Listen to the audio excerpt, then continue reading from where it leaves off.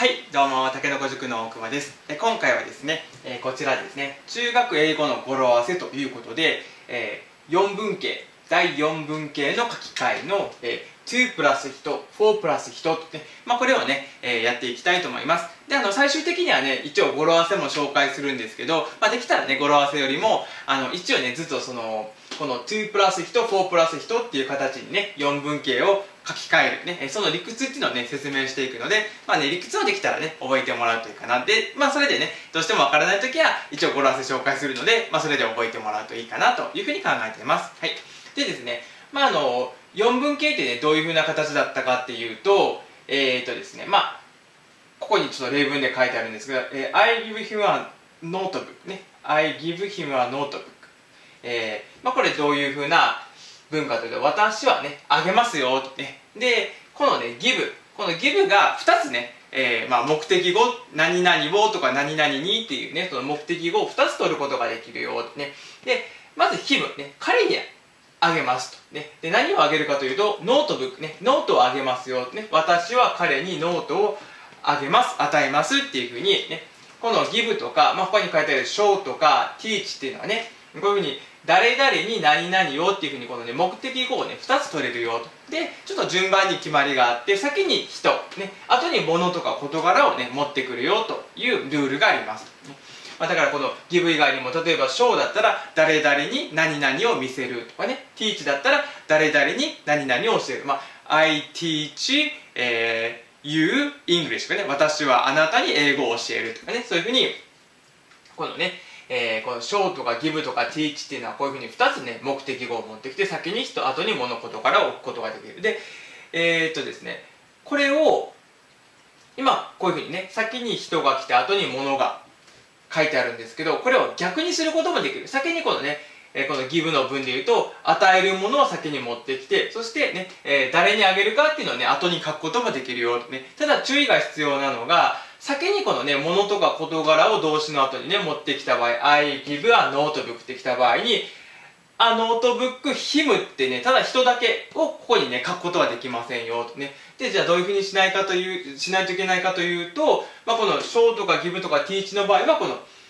to、to ってこの前置詞の to プラス人っていう形でね、えー書かないといけない。ただ、ただの notebook him とは書けないね。to him というふうに書きますよ。だからこの show とか teach の文ね。で、この4文型、これ4文型って言うんですけど、この文を、えっ、と、こういうふうにね、先に物とか事柄を出した場合、この show とか teach の場合も to プラス人っていう形で書き換えをしないといけないよ。だからもし、えー I teach him English だったら、I teach English to him って、いうふうな形になるよ。で、今度だから show とか give とか teach っていうのをね、こういうふうな、動詞を使われている4文形を、えーこのね、書き換える。先にこととかものを先に出した場合には、ね、人のところは to プラス人という形にする。で、で一方、えーこの make とか by っていうのもこれね、4文形の形を取ることができるね。こう例文があるんですけど、えー I make her dinner ね。これ私は彼女に夕食を作りますっていうふうにね、この make っていう動詞があって、ね、で、この her ね、彼女に作るね、えー夕食を作るっていうふうにね、こう、2つね、make が目的語を持ってるよ。で、これもね、えっ、と、順番を入れ替えて先に物。で、このディナーを先に持ってきて、I make dinner っていうふうに書くことができる。でももし、こういうふうに書いたら、えー I make dinner, her とは書けなくて、ね、今度は、ね、この make とか by の時は、えーこの人の前に、今度は前置詞のこの for をね、置かないといけないとね。だから、I make dinner for her というふうに書きますよとね。まあ、これがもしね、by。で、by って誰々に何々を買ってあげるっていう、まあ、あの動詞になるんですけど例えば「I buy her」えー、何でもいいけどえっ、と「ザ・バイク」にしましょうかね私は彼女に自転車を、えー買ってあげるとねいう場合にもしねそれを先にねこのここに来る「ザ・バイク」をね先に持ってくると「I buy the bike for her」というふうに書かないといけないよとね。私は彼女に自転車を買ってあげるとね。でなんでこのね4文形はこういうふうにね先に人とかあ人じゃないこととか物、ね、を先にね、えー、持ってきて後に人をね持ってくることができるけど、え、そういうふうにする場合に小ギブ teach を使っている4分形は to プラス1という形を取らないといけないし make とか by をね使った4分形だったら4プラス1っていうね、えー、形を取らないといけないよね。でなんでねこのね動詞によってこの2プラス1もしくはね4プラス1っていうふうにね使い分けしないといけないのかっていうね理由をちょっとね、えー、簡単に説明しておくと、えー、この2と4のねまああのちょっとイメージの違いにありますよとね。で2は矢印でもうねそのある場所からある場所へねあるところからあるところに行って必ずこう到達するっていうね意味を含んでいる。例えばだから I, I go to I go to the park ね。私は、えー、公園に行くっていう場合ね。ここに to が使われてこれはもう必ずね、えー、そのただ単に公園に向かって行ったわけじゃなくてえ出発していって公園に着くよ、ね、公園に着くよ到達するよっていうのはこの to が表してる。ただに行っただけじゃなくて行って公園に着くよっていうところを表している。でそれに対して for っていうのは、まあ、for もある意味こうね矢印なんですけれども for の場合は、まあ、ただ向きねこの方向だけを表すよと。なので、まあ、ちょっと例えばこういうね、えー、I'll leave for the パークね、まあ、このレイブっていうのはね、まあ、どこどこに、ね、出発するっていう意味があります。でここに for が使われてこれだとね私はその公園に出発しますっていうことなんですけどこれあくまでも公園の方向に向かって行ったよっていうだけでここにね、えー、公園に到達するかどうかは分からない。とりあえずその公園に向けて出発していったっていうことをね表しているよということで to はね必ずこの矢印でその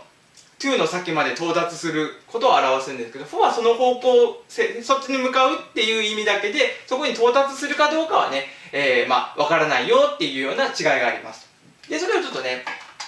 頭に入れた上でちょっとこの1番と2番のね、例文、この to を使う場合と for を使う場合の例文見てみると、えー、ちょっとですね、この1番のこのね、この show とか give とか teach、この to プラス人を使う場合っていうのは、これ、私は彼にノートをあげますってことで、これ、私から彼にね、こう、ノートが移っていってますよね。で、もしこれね、あの、この、私から彼にノートをうつ、うつ、あの、移っていなかったら、これ、 give、あげるってできますよね。私は彼にノートをあげるって言った場合は、ね、この、 give、あげるっていうのは成立するためには、私から彼にちゃんとノートが、あの、移動していかないと、えー、このね、あげるっていうことが成り立ちませんよね。まあ、あの、彼に到達してないけど、私は彼にノートをあげたんだとか言えませんよね。で、同じように、私は例えば彼に英語を教えるって言った場合ね、えー、なんか、彼に到達してないけど、英語を教え、教えるよっていうことはできないですよね。で、必ずこういうふうにね、相手に到達しないと、えー、動作が成立しない。こういうふうな場合は、えー、この to プラス人で、えー、このね、4分形の書き換えを表現しますよ。だから、show, give, teach とかは、えー、ね、えー、必ず相手の方に、そのね、えー、何かがこう伝わっていかないと、あげたりね、えー、物が移動したりとか何かが伝わっていかないと、ね、到達してないと、あの、これらのね、show とか give とか teach っていう動作が成立しない。ね、こういう場合はだから to を使う。で、一方、今度はこっちの2番の場合ですね。I make dinner for her ね。私は彼女に夕食を作りますね。この場合っていうのは、彼女に向けてね、彼女のために夕食を作るんですけれども、ね、実際例えばそれがね、彼女が食べてくれなかったとしても、ね、えー、彼女のために作って彼女があの食べてくれなかったとしても、あの、夕食を作るっていうこのメイクっていう動作は成り立ちますよね。同じように、例えば、I buy her the bike とかね、私は彼女に自転車を買ってあげます。で、それももしね、えっ、ー、と、その彼女のために買ったんだけれども、ね、えー、それ彼女がもし受け取ってくれなかったりとかね、えー、彼女がもうなんか、なんか彼女の方にね、そのね、買った自転車がね、えー、彼女にこう移動しなくても、えー、 buy、ね、買うっていう動作はすることができますよね。で、こういうふうにメイクとか、えー、 buy みたいにね、えー、仮にね、えー、こうこういうふうにこう、相手に向けて、なんかこう動作をしたんだけど、ね、えー、それやったことによって相手にねその例えば作った夕食とかね買ってあげた自転車とかがね相手に到達しなくても、えー、買うこととか夕食を作ることっていうのはね動作としては成立しますよね。こっちは見せたりあげたり教えたりするっていうのは相手に到達しないともともとこの見せることとかあげることとか、えー、教えることっていうのは成立しないけどメイク場合はねたとえ相手に到達しなくても、ね、作ったものとか買ったものがね、えー、それを作ったり買ったりすることができるよ、ね、でこういうふうな場合はえっ、ー、とこうね言ったけど結局こうねそれがこう到達しなかったとしても成立する。そういう場合はこのね for を使うと。なんでこの make とか by っていうのは to じゃなくて for プラス人とね、えー、相手にねそのやった動作がね、えー、結果がこう移動しなくてもこの動作をね、えー、行うことができるので、えー、for プラス人を使うという形になります。で、まあ、一応ね、まあ、これの理屈が分かっとけばね、えー、この show, give, teach の時は to プラス人って書き換えしないといけないし、make 場合の時は for プラス人っていうね、えー、こう書き換えができるって分かると思うんですけれども、まあ一応ね、えっ、ー、と、最後にね、えー、語呂合わせをちょっとね、やっておくと、えー、将棋ティーチャーと名馬ファン、ね、えー、将棋ティーチャーと名馬ファン。まあちょっとね、強引なんですけれども、まああの、この、将棋ティーチャーで、まあ、将棋を、ティーチャーね、教える人、ね、とね、えー、名馬、まあ、まあ、競馬とかが好きでね、名馬が好きな名馬のファンがいるよっていうことで、まあ、この将棋ティーチャーが、まあ、それこそ、将棋部ティーチャーを表して、将棋の将が、将、ね、この将を表してて、まあ、将棋の義がこの、えー、 give のギを表してて、で、ティーチャーがまあこの teach ですね。で、このとがこの to になってる。ね。で、このメイバの、まあ、メイは、え、この make のメイですね。バ、バがこの buy のバ。ね、ファンのこのフの部分がこのフォーのね、えー、フというのを表してるよという感じでね、えー、show, give, teach が to で、 make と buy が for という感じでね、覚えてもらうといいかなと思います。はい、今回はね、以上になります。まあ、他にもね、こういう語呂合わせ解説動画をね、えーなんかアップしてほしいよっていうリクエストありましたら下のコメント欄にコメントお願いします。であとね竹の子塾のえ Twitter と Instagram のねフォローもお願いします。リンクはね下の概要欄に貼っておきます。で今回これで終わります。どうもありがとうございました。